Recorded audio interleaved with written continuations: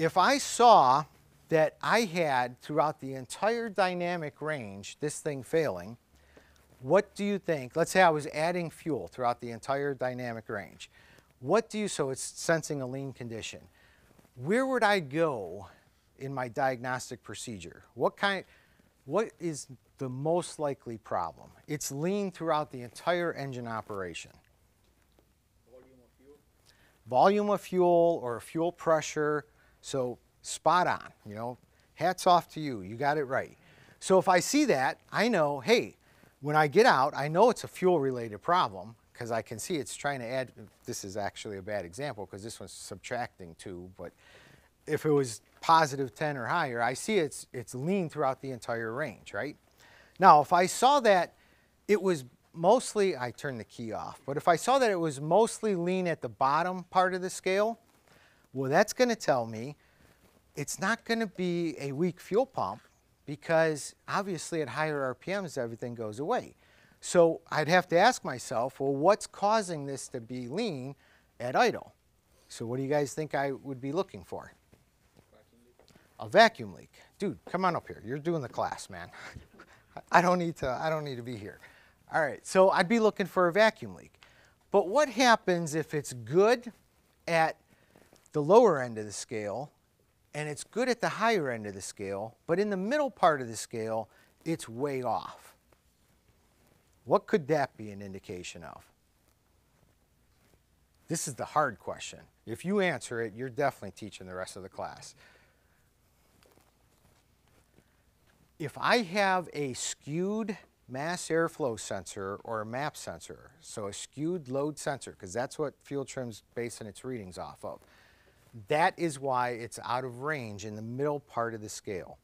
So it could be because there's a whole bunch of carbon on a hot wire. It could be because the sensor itself has just failed. It hasn't failed to the point where it's going to set a code, but it's failed. And if you think about it, those are the hardest ones for us to diagnose because it seems to idle okay. And if I floor it, it seems to be responsive and doing everything. But the fuel economy sucks on this thing. Um, I got mid-range drivability things where maybe it's surging and stuff. And you got all this problem because that mass airflow sensor is not fueling the engine correctly. So I know this by just looking at fuel trim.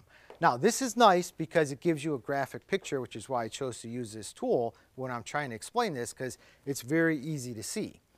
Now, you can do the same thing with your individual scan tool. Like this scan tool doesn't display it the same way as that one. This is going to give me a traditional fuel trim value.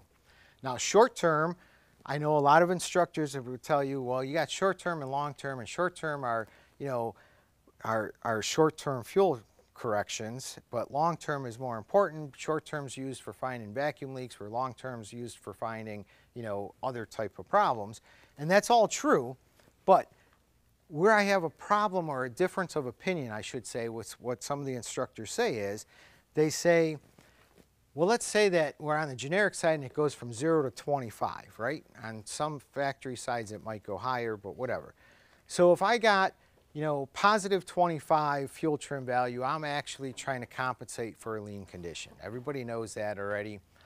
But what they're what I kind of differ with is when they come to the short term, they say, well, normal operating range is anywhere from about 0 to 9 or 10, right?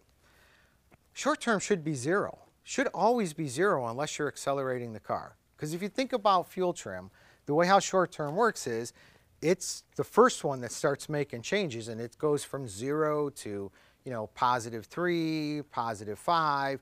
When it gets to about positive seven, it gets reset because it changes long term to say positive two. So now it can reset. And it just keeps doing that over and over again until eventually, let's say I had a bad fuel pump, you know, positive is maxed out plus plus short term is ma- or yeah, short term is maxed out. So long term and short term are both maxed out.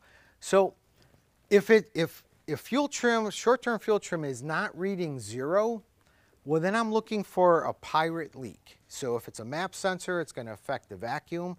If it's a mass airflow sensor, maybe the snorkel tube's cracked or whatever. I mean, I'm not telling you guys anything new with that. So this is why I like to use fuel trim for this.